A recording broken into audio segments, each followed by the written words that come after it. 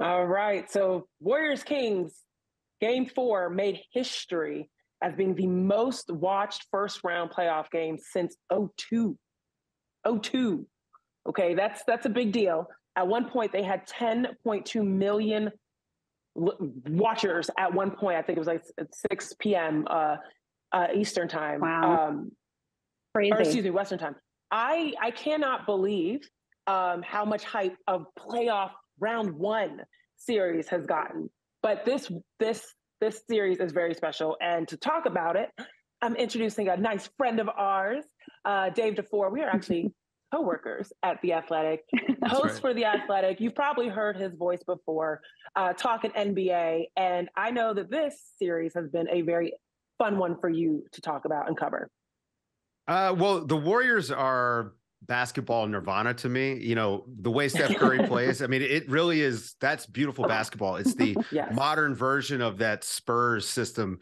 Uh, and, and, a little bit of triangle stuff thrown in. So as a basketball coach, you know, that's uh that's kind of my thing. And then the Kings play yep. an up tempo version of that and they're young and up and coming and so you've got that whole narrative where the the warriors who were at one point the upstart young team are now the old dogs yep. trying to hang on you know defending a title right. so it has the right. on court stuff it has steph curry which that's ratings in and of itself and it has this fun right. kings team so it's got everything for me it's it's really cool to see yes i feel like this like the warriors are looking in the mirror and playing their younger selves and that's a really mm. cool thing. And then you think about Mike Brown being the mastermind behind it is even another added yeah. layer. Um, I yeah. think that this Fox injury, though, there's been a lot of things going throughout this series, you know, whether it's the Draymond suspensions um, and just uh, Gary Payton getting hurt, like all these different things getting involved. Now De'Aaron Fox is hurt. And we know that he has been scoring out of this world for the the Kings and being a pivotal point for why the Kings are in this series um, and we're able to take the first two games. It would suck if this series came down to is he able to play on this finger? Yeah, he mm-hmm. has been the most dangerous player in the series once the fourth quarter hits. And mm-hmm. the reason that yes. they were up 2 0 is because De'Aaron Fox yeah. just owns the fourth quarter. He did it all year. Uh, he's a star. He is proving to me that he's a 16 game player. You know, shout out to Draymond for that one. But he's shown up in this series in a big time way. And, you know, the finger injury, it's probably going to bother him. It's on his shooting hand, it's that index finger, very important for shooting. But with that being said, he's such a gamer. I never had any doubt that he was going to play. And I bet we don't mm. notice unless he aggravates it. So maybe he catches it on a jersey, it gets hit, you know, on a foul. And you know, you know, look, let's be realists here. Basketball players, if they know a guy's hurt, they're going to go after it a little bit. I'm not going to say anyone's going to do anything dirty, but you know, the ball right. in the hand it might not be a foul. So I, I, just I worry about him aggravating it. But with that being said, I expect him to have a big game. Uh, I think he's going to be able to keep it close. Going back to Sacramento, Warriors have all the momentum, so they need De'Aaron Fox to come out. I think early. He needs to arrive not fourth quarter. He needs first quarter, fourth quarter. De'Aaron Fox. I yeah. agree. And Do you, you know, think? You oh, go ahead, Kelsey. Yeah, no, I think he said such great points. And I think that's kind of why I'm not seeing as much worry on social media. I mean, and De'Aaron Fox said it in the end, like, I'm still going to give it my all. I'm still going to play tough. You guys talked about it. He's been Mr. Clutch, and that's what you need in playoff basketball. But all that to say, you know, for the Sacramento Kings, if he isn't able to be his full self that we've been able to see, you know, you talk about guys mm. Needing to step up. And somebody I think that's been mentioned, Domantas Sabonis. And I would love your thoughts on him and, you know, how he can make hopefully more of an impact in this series if the Kings Kings are able to come out, which Malik Monk has said he sees them coming out of this first round against the Warriors. Would love your thoughts on that. Well, not to sound repetitive, but 16 game players versus 82 game players, and Domantas Sabonis might just be an 82 game player. I mean, he put up incredible mm. numbers during the regular season, but he can eat innings and, and he can be tough mm. in the regular season. But we see once you get to the playoffs, it's basically a different sport, and he can be mitigated. Yeah. You know, the Warriors in the first two games they didn't do a good enough job of forcing Sabonis outside the three point line on those. They weren't picking up early enough to force them farther away from the basket on those actions. but he's pretty much just been mitigated by Looney and, and Draymond Green. They're not worried about his scoring. He's not going to shoot. They don't guard him basically. You know, mm. you're you're sending two people to the man coming off the dribble handoff instead of worrying about Sabonis. And so if you don't have to worry about a player involved in an action, that that's a double team. So he's been ineffective. Yeah. And, and I I mentioned this after game one. I thought this could be a big Alex Len series because he's got like a six inch height advantage over every single Warrior. Yeah. So when you look at the 11 or so minutes he's playing a game, I mean, the guy has been positive. Right. He has won all of his mm-hmm. minutes. And so I'm not saying you shake up the starting lineup or anything like that, but I think that maybe if Sabonis doesn't have it going and he's ineffective, go to Alex Len earlier if you're the Kings because right. you you know it's going to get late really early if they go back right. to Chase Center down 3-2 after being up 2-0 it's a mm-hmm. wrap they're not mm-hmm. coming back from that they're not even going to see game 7 yeah that's why I'm so excited for tonight because there is so much pressure on the Kings to make sure they win at home but the Warriors have such as you mentioned before Dave all of the momentum um, and we're seeing yeah kind of like the makings of an explosive game. We still haven't had a game six Klay because it's not game six yet, but we haven't had that Klay game, right? That you know right. he's capable of doing. And because he's been playing so well defensively, I just feel like it's brewing. It's it's it's there. Um, and I know that the Athletic has talked about that as well. I, I want to touch on some of these kind of storylines around um, what's going to happen in the next round with either one of these two teams and, and why the pressure is on them to close now because I think it was Charles Barkley that talked about you want to win one game at a time. So if you go back, if you're you just mentioned this point, Dave, if you come back and Sacramento, you're like, we got to close at home. But for the Warriors, it's we just have to win one game. One That's game. It. And uh, you think about, you know, Lakers and Grizzlies still going technically. You think about people needing rest and things of that sort.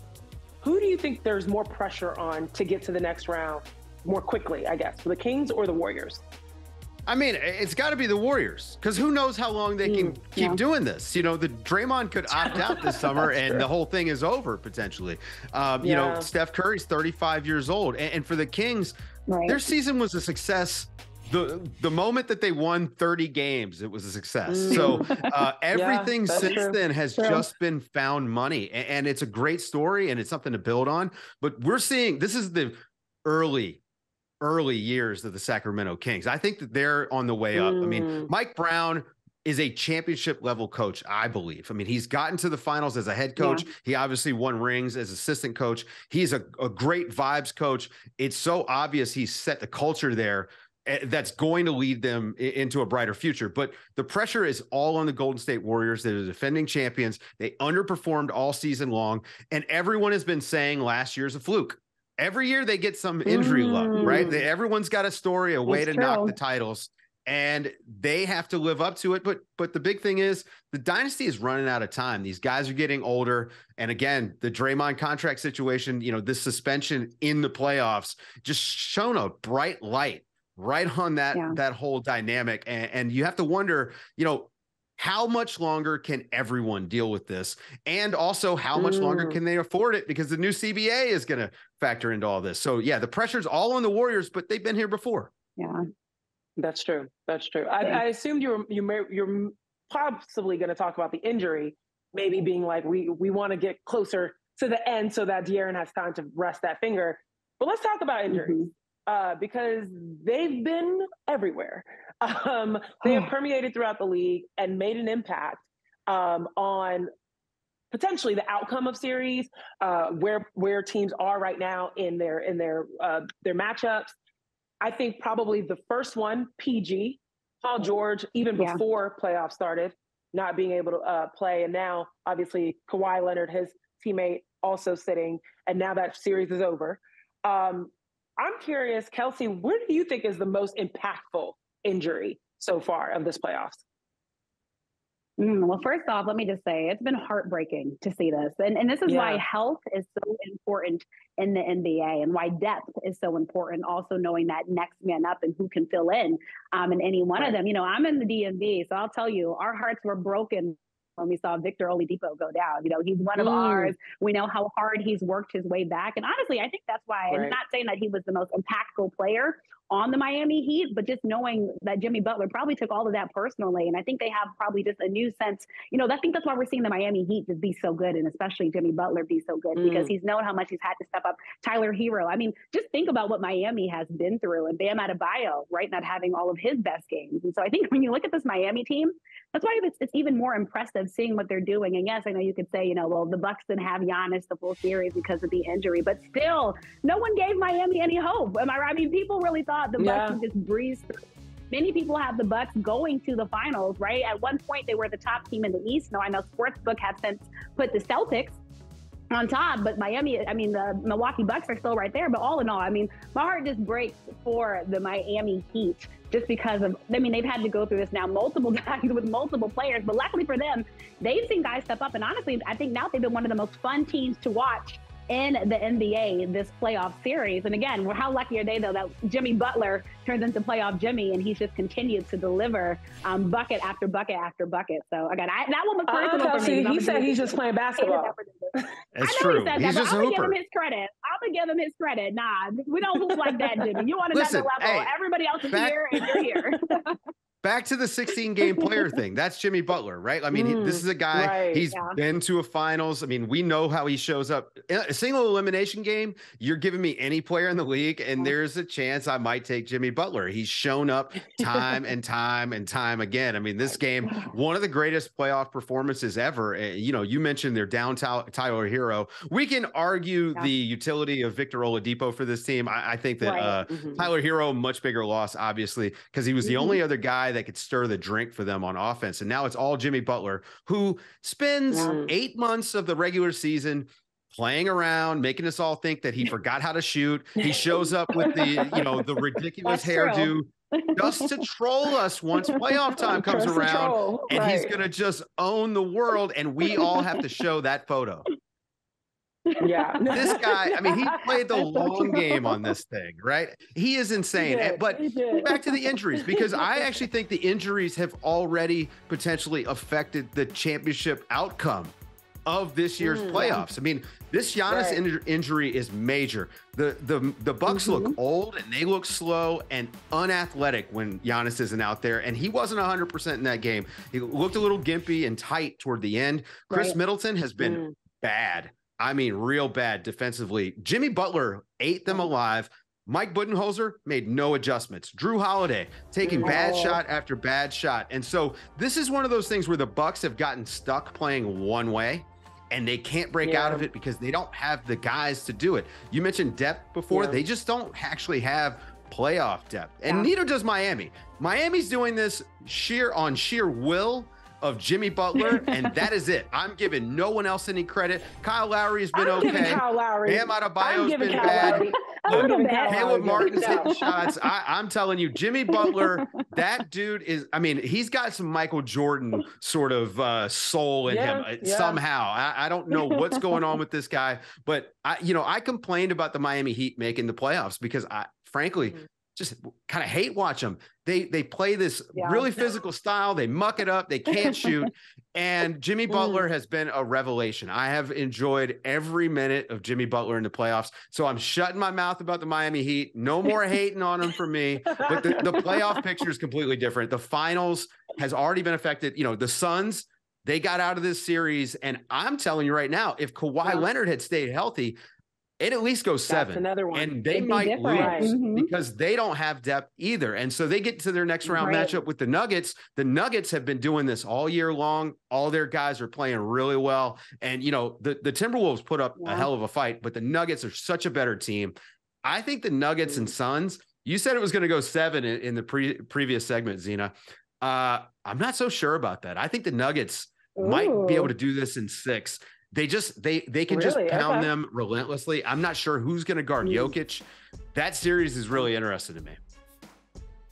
I the reason why I think it's going to go seven is because I think it's going to be a sludge, because mm. Denver mm. just hasn't been that consistent for me.